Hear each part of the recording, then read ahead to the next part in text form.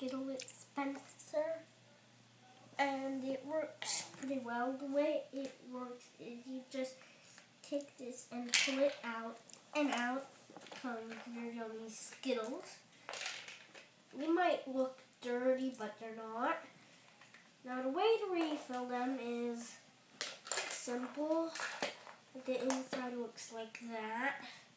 I Don't know if you can see, but that's the inside. You just put in the key. Then we put in all the Skittles. Then we put on the top. Wait, I think I added one more Skittle by accident.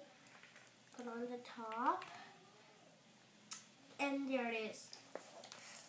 So, if you want to see how it works again, I'll do it again.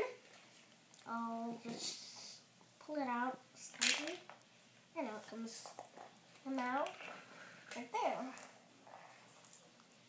Now it tastes good to have some. Well, it works pretty good. You just need to put that there and put it back in. Ah! Putting, putting them in. And we take one more. Got a four. Now we put them in. And there it is. Bye.